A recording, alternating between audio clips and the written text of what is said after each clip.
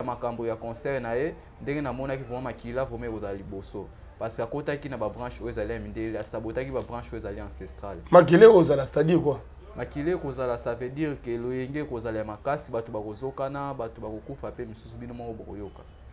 alors il faut il faut asala nini il faut pona ko arrêter hémorragie wana bon pona ko arrêter biloko oyo tozomona ya mabe danger eza liboso il faut azonga na biso na coutume ancestrale topesa ye makambo oyo ayaki kozwa nkutu wana ya kinzuki ya lolendo yango nde epesaki ye nguya wana na ndembo wana bomonaki abetaki ya roya mikoma donc ifo azonga soki topesa ye makindo wana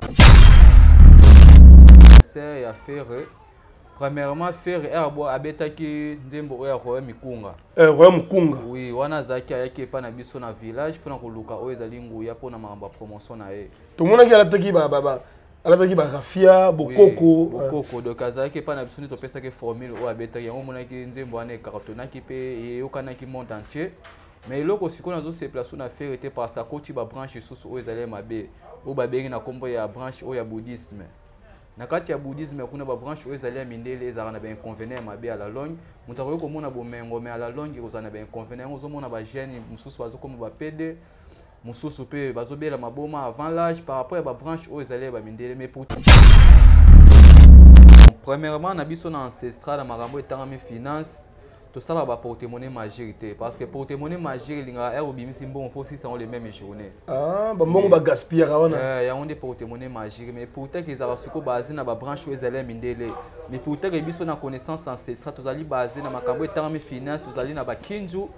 Mm. kinzoki ya lolendo eza sous forme ya portemone esungaka na bato na makambo etangami finance mm. e apart yango mpe toza na kodia kodia eza na de sorte toza na kodia ya négativité oyo esengaka makila wana eza na babranche ya mindele yango omonaka moto mosusu aza na mbongo ebele me azoteka tumbako donc azovivre te ndenge moto avivaka na mokili yango soki eza na bakodia oyo ezali négativité hmm? bon premièrement nandimaka so bapaster to baprofete te parce bakomi kotambusa te spiritualité na ndenge oyo esengeli parce que ere moto aye koluka na église premièrement baza bawumbu parce que oye na église oye koluka solution non sikoyo ere oye koluka solution pasteur azokoti osusu na bagroupe oyo ezali na kati ya église ya lingomba ezosengaka chaque dimanche bopesaka autant autant eza deja boki bowumbu c'est pour ça nandimelaka so bapasteur te parce que bakomi kotambwisa te spiritualité na lolenge oyo esengeli donc eza bongo voilà sans coutume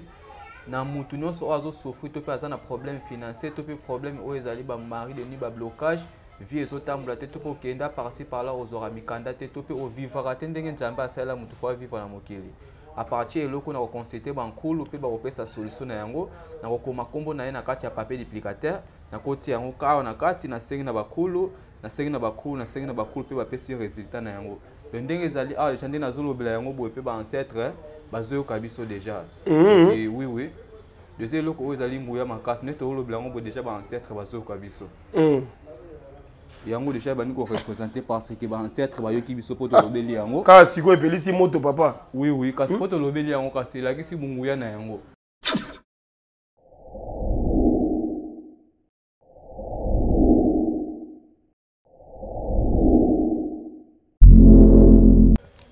Voilà, grand merci à tous et à toutes, euh, chers amis téléspectateurs. Vous nous regardez de partout à travers le monde sur Équilibre Télévision. Bienvenue chez nous. Jérémy Lemba, les renards du désert est en face de vous. Alors on va tenter de parler sur euh, la culture, mais également sur euh, la spiritualité avec un Congolais que nous recevons tout à l'heure. Beaucoup couvriers. Avant toute chose, merci à notre Dieu Tout-Puissant. Et puis je vais quand même faire un clin d'œil spécial à tous nos partenaires. Mimi na en Allemagne, de Madrid, les célèbres Dien Washington, le président Pedro Mutu leader à jeunesse, association Mède à la Main à Villefontaine et puis partout en France. Et pourquoi pas celui qu'on appelle Raoul Kidoumou depuis Montréal, au Canada.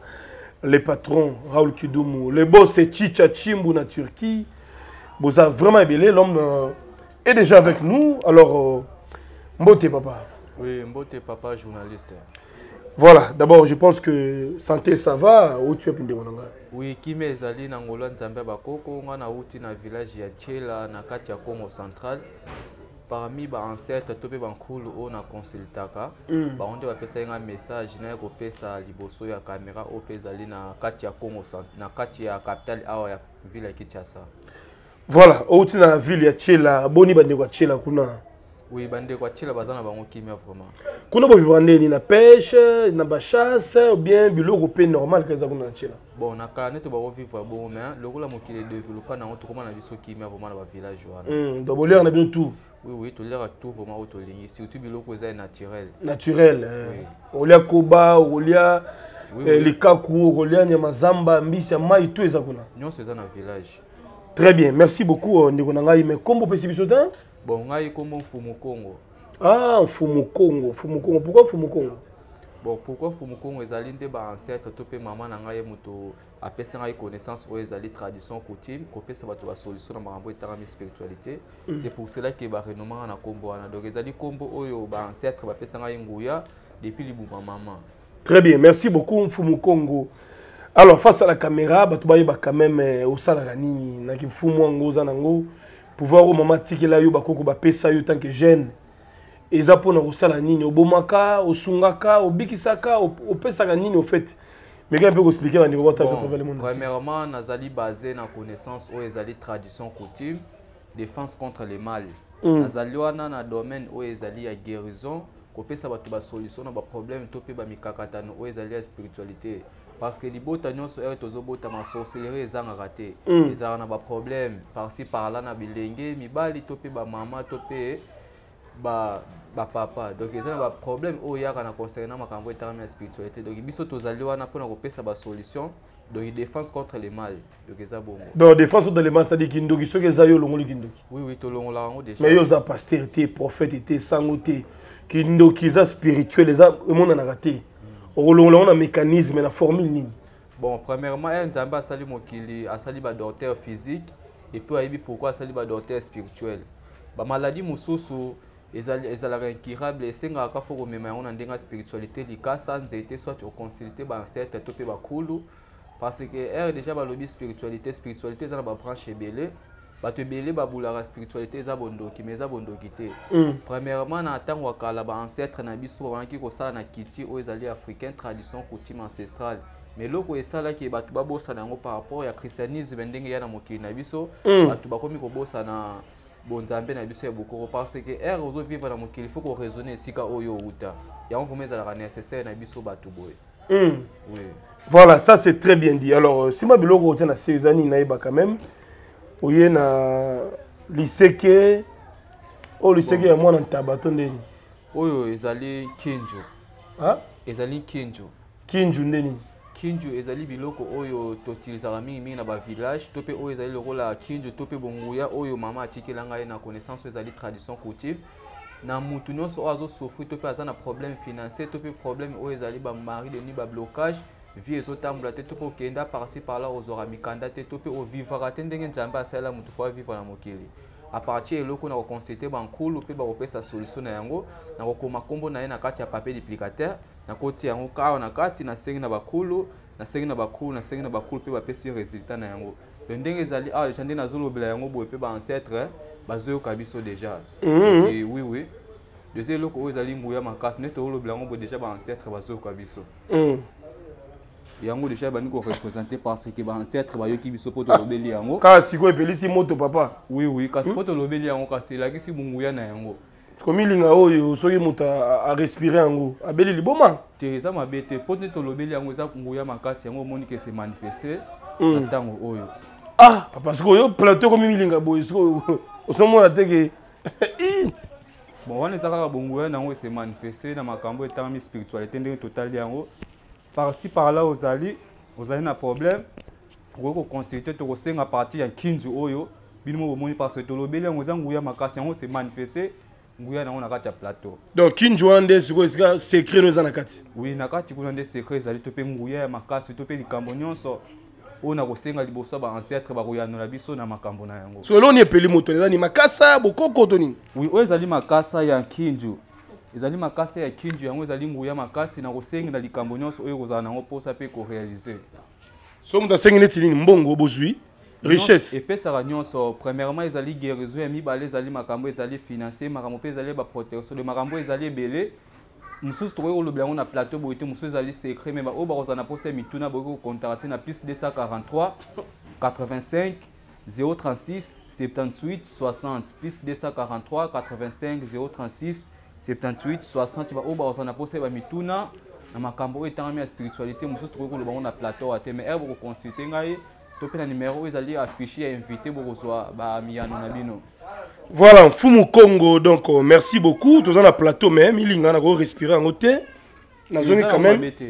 sikoyo kinju wana eza nini ezali nzungu batikela na famille oyo ezali nzungu batikela ngai na famille erealisaka makambo nyonso oyo ezali ya spiritualité baproblème ezali ebele oza mwasi otenira bamibali ya malunga te apartir ya kinju oyo nakosenga na baancetre bakopesa solution ozali mobali ozwaka bamisala ya malunga te to mpe vi na yo emarchaka te ndenge esengeli mosusu ezalaka balien familial Mm. toyeba kokata yango na ndenge ya spiritualité mais noko balien wana balien wana eza biloko tozomona baka mingi ekende na baeglise badelivrance bakosala badelivrance bakataka lien kaka te na kinju na okaka bakati lien il faut baséance ya prière fo moto atubela il faut badelivre motu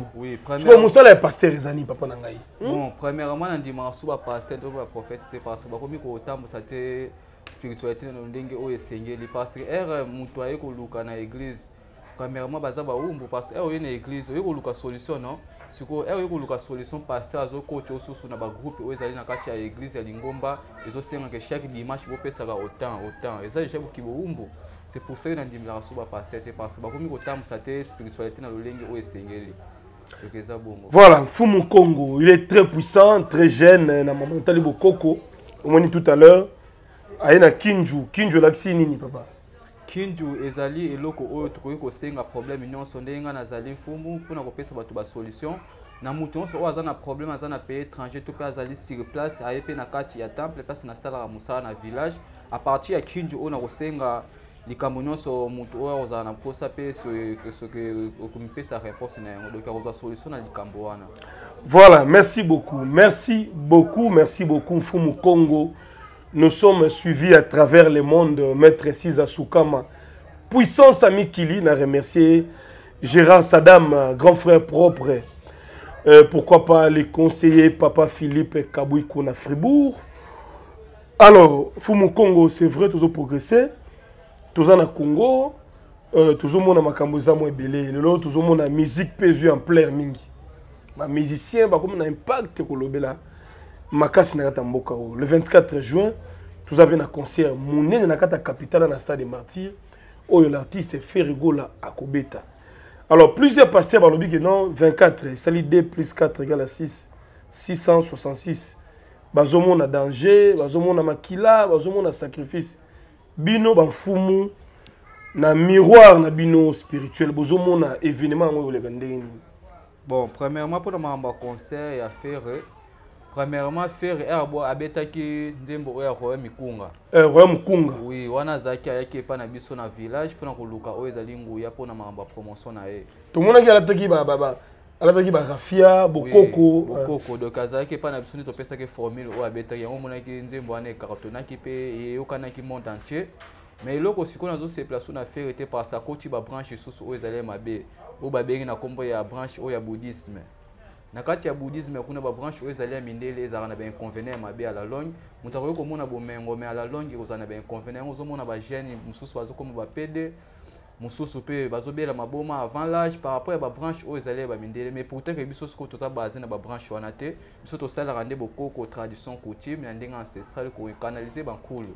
donc eza bongo par rapport ya makambo ya concert na ye ndenge namonaki vraimen makila vraimen ekozala liboso parce que akotaki na babranche oyo ezali ya mindele asabotaki babranche oyo ezali ancestrale makila ekozala c'est-à-dire quoi makila ekozala ça veut dire ke loyenge ekozala ya makasi bato bakozokana bato bakokufa mpe misusu bino moko bokoyoka alors il faut il faut asala nini il faut pona ko arrêter hémorragie wana bon pona ko arrêter biloko oyo tozomona ya mabe danger eza liboso il faut azonga na biso na coutume ancestrale topesa ye makambo oyo ayaki kozwa nkutu wana ya kinzuki ya lolendo yango nde epesaki ye nguya wana na ndembo wana bomonaki abetaki ya roya mikoma donc il faut azonga soso topesa ye makindo wana donc eza bongo eza bongo alors moto alingi peut-être abénéficie na baservice na yo a travailler na yo a consulter yo abenga yo ba condition na yo ezalaka nini parce que lelo ekoma bolobaka kaka no biso sans condition biso makila ezalaka te me moto akobengo boye makambo esimbi te retour liboma moto akomi faser faser ya mokolo tozomona bakango mwa ebele mosusu omona mato ebouche miso ekangami quelles sont les réalités ezalaka ndeni mpo moto aconsulte maison oyo ozali bon premièrement na spiritualité premièrement eza secret na makambo oyo ozosalisa ere ozosalisa makambo ya spiritualité fo oza no na secret en plus ya mibale eloko esalaka ozomona baresultat mabe na baoyo baoki luka babranche wana eloko ezosala bongo par rapport ya babranche nde bazokota parce que spiritualité toza na deux branche toza na kisi ya mondele mpe kisi ya bokoko nakoki kopesa exemple soki ozobela omeli kisi ya mondele osangisi yango na kisi ya bato moyindo ezalaka na retour ya mabe okokufa kutu oui oui ezalaka bongo c'est pour ça mm. bozomona bato oyo bazopesa ba retour wana bazokende na babranche oyo ezali ya mabe mais na biso ancestral tradition coutume makambo wana basacrifice to mpe bainconvénient wana ezalaka te essentiel nde garde secret na makambo na yo c'est tout donc so moto abengi yo première condition garder secret oui c'est ça yango kaka esili agarde secret ye moko amona kindoki ye moko amona bandoto mabe abomba yango bon, garde secret tolobela yango par rapport ya kwa moto mosusu okoki kobetela lisolo akozala ndoki ya butu akosepela na bozwi na yo te akolinga afreno na ndenge ya sorcellerie c'est pour cela que totiaka secret fo ezala na makambo oyo ezali ya spiritualité alors namoni ona point noir mona elongi awa hmm. eza nini troisième eye to ndeni saro bendelanga face na ye bon wana eza kaka ndenge nabotama par rapport ya libumu nde nabima donc eza deja baelembo oyo etangama deja fona azala guérisseur to mpe nguya deja ewuta depuis libumu ya mama na ngai moto nyonso azoconsulte nga aza na problème atambola azwa solution na yango te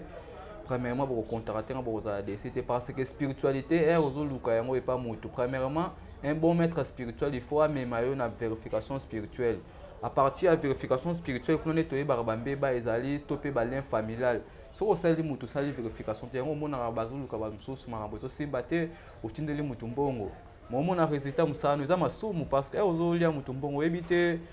na vie on sait jamais faut kogarde relation relation parce que okosunga moto oyebi te lobi ekozala ndenge nini donc eza bongo voilà donc osalaka boso na verification cela veut dire ozalaka na ntango koconsulte motu oyebi nano famille na ye oyebi na verification otali kinkulu na ye baancetre na ye mpe basengi tosengi nzela mpo atenir eloko oyo ayaki koluka epai na biso parce que premièrement fo tosenga nao nzela na ba ancêtre na ye na ndenge familiale ezalaka bongo ezalaka bongo alors très bien bato baotala biso baza à travers le monde entier ozali mfumu congo mwana ya congo central mwana chela alors oexplike biso badetail ndenge mosala evoluaka alors message clé na bato oyo batambola tambola bamaison ebele babenga bamaître ebele baeshua différence entre yo fumu congo na bandeko mosusu bayaka ba charlatan eza ndenge nini bon différence ezali par rapport nde na yo totalisa bino ya moto aye koluka yo fo bana na vérification spirituelle koyeba source ya libota to mpe balien ezali ndenge nini apres koprocéder na guérison ezalaka bongo mais baoyo bakozala na mposa yeba mituna okontaka te na numero mpe na kotalisa bino mai oyo bokozala na yango mposa ndenge etambolaka premièrement nalingaka nano mbongo nao liboso te parce que ba mususu eka consulter mutu azo senga nanu mbongo mutu aye koluka nini solution partout solution senga so mbongo pona nini mm. biso premièrement na ancestra tolinga mutu amona no résultat na musala na ye so amoni résultat après nde mutu akokanisa yo mais des fois ba chamba na ba ancêtre makazo c'est tout ezalaka bongo na ancestral alors ça c'est bien sikoyo eh, yo opesaka mbongo na formule oza na porte monnaie opesaka oza na valise magique to oza na bandenge na opeselaka mbongo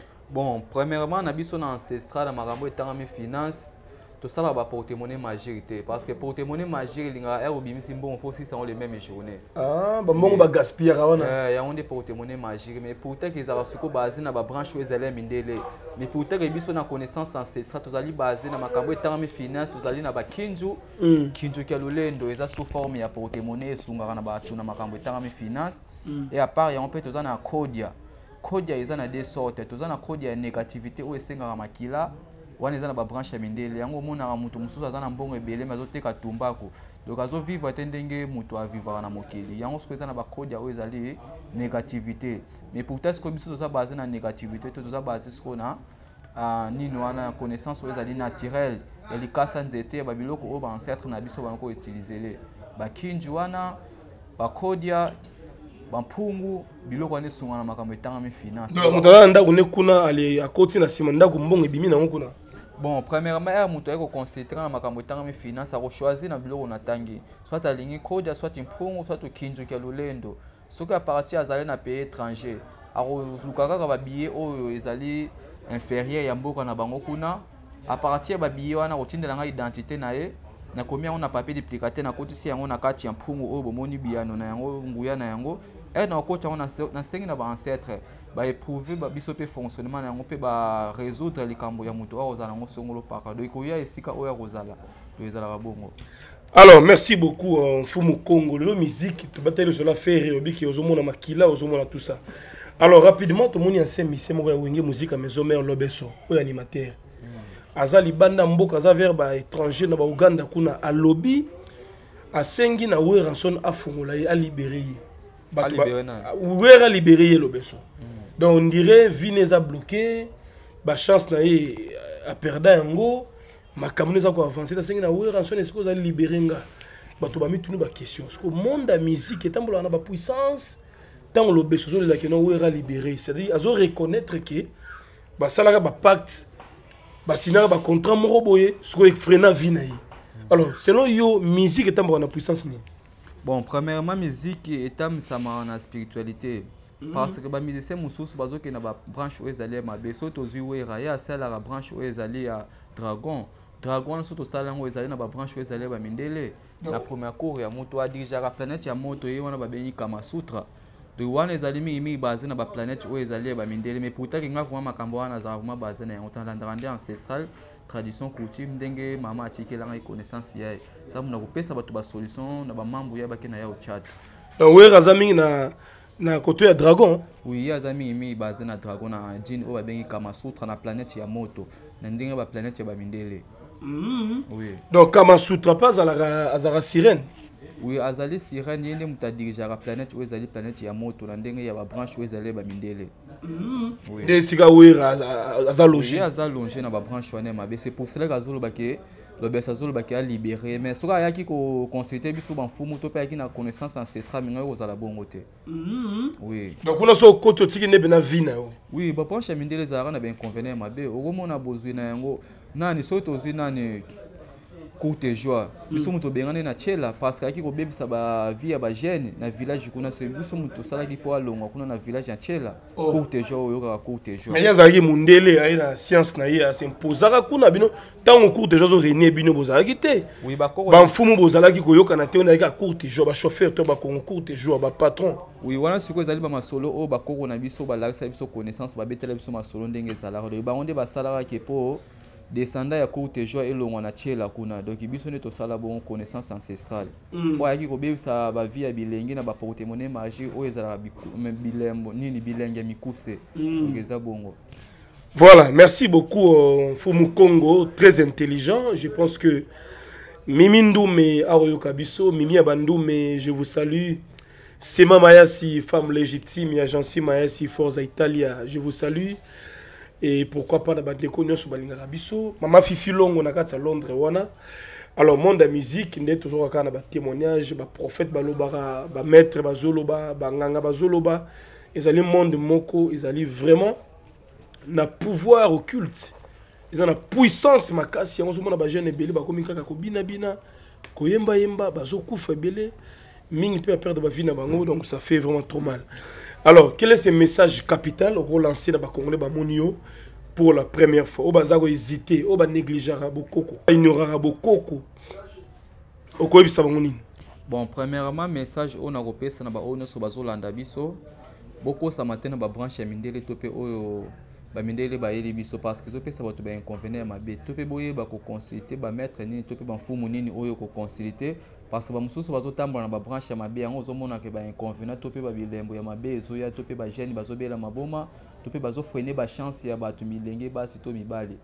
de bokeba na babranche ya mabe c'est pour cela que toyei kopesa message ezali na propre volonté na ngai te na ye awa na capital mais ezali nde baancetre bankulu oyo na invokaka bango nde bapesaki ngai message naye kopesa deva plateau baoyo bazotambwisa spiritualité na lolenge oyo esengeli te mais baoyo bakozala na mposa ya mituna bokoki kokontana te na numero napesi plus 243 85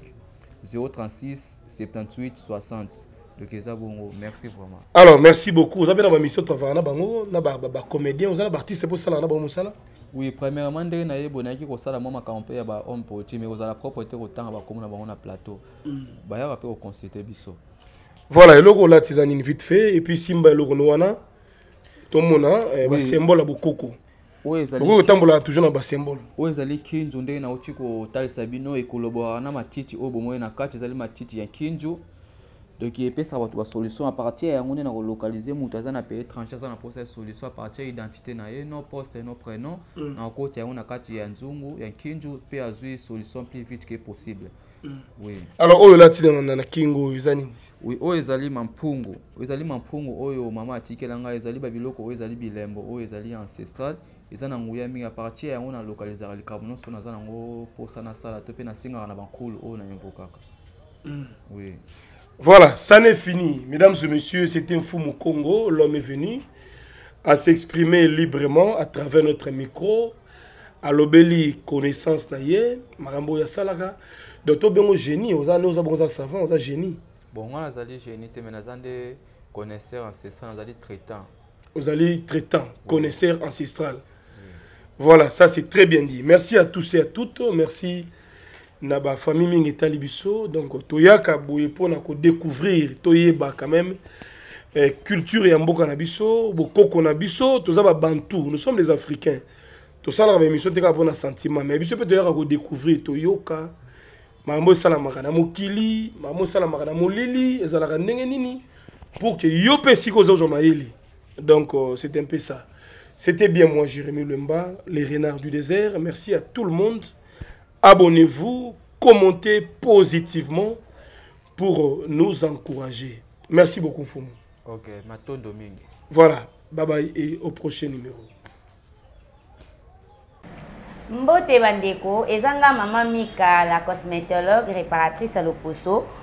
Euh, comme toujours ba produits na bino naturel fait à base ya ba fruits yango oyo toza na crème na biso crème de beauté mika fait à base ya papaye na carambole eza mpona bato ya mwindu na bato ya peau marron en tout cas bandeko na nga crème oyo ekosala bino kitoko makasi ah lisusu toza na crème de beauté ta métis mika oyo eza mpona bato ya pembe botama te métis moto apembe makasi pembe na yo oyo egata ebeba en tout cas soki osaleli crème na biso oyo ekosala kitoko makasi basi apembe mibali apembe boya ebele toza na savon na biso lisusu savon noir fait, fait à base de café en tout cas ekosunga bino makasi na douche ezoprotege contre soleil bandeko na nga bose procure yango en tout cas bokozala desu te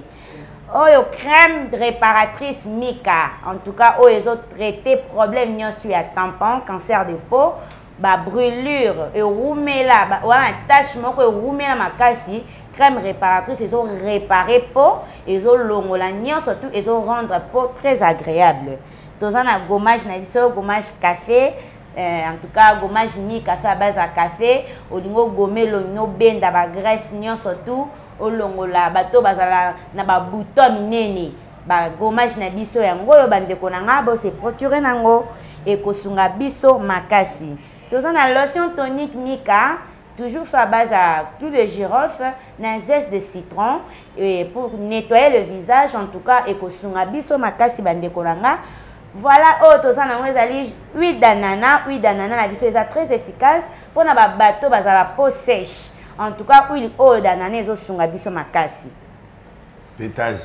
oyo suka na pétage parce que omoni baproduit oyo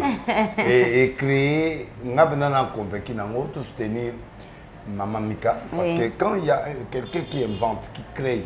il faut venir motiver to motiver ye nga nazo croire na produit wana nabakisi mpenza ke mama mika cosmétique petage mpo awa makambo ya solo ezali mpo bato tu oyo baposi ezobeba tout ça mhm. tozwi sikoyo moto akorepare biso poso nga mo mpe na ye na maison na ye kozwa baproduit na bandaki deja lokuta mabe na bandaki deja depuis moi 3 jours mais namoni ke deja mwa évolution ezozala donc baproduit yango oyo nga nandimi na ngango a mika euh, mika cosmétique nandimi mare nandimi makambo na ye nandimi baproduit na ye bino nyonso boya bana poto bamusicien baserviteur de dieu bato tout awa hydroquinone eza te poso ozala nourri très bien epuis makambo ekosimba moi je crois ça e nzambe tobondeli yango nauti kosala prière bon spéciale mpo epermettre ke esa dégât moko te na kati ya loposo au contraire elongola au même moment baesprit nyonso oyo ezali mpo na kobebisa biloko ya baposo ya bato parce ya tout esprit mobimba ezalaka na nsima ya bato kobebisa baposo kobebisa biloko na kati ya nzoto ya bato ona prie bamani batia bamaske mm. ekota na kati ya elongi baproduit mpe ezolongola bamaske na bino oyo eza na kati ya nzoto au même moment nayo ya mosuni na ya molimo donc moi je crois que eh, utiliser les produits cosmétiques mika e bobenga mama na banimero na ye moko azopesa wana mpo epermettre sikoyo okota en contact na ye esika nyonso yo oza na continent nyonso yo oza produit ekoya amen e, lokola produit ekoya numero yango wana merci le plus 243 89 98 27 674 adresse na biso toza na komi na kalamu toza na quartier matonge avenue pozo numero a 17 référence cabine à courant merci merci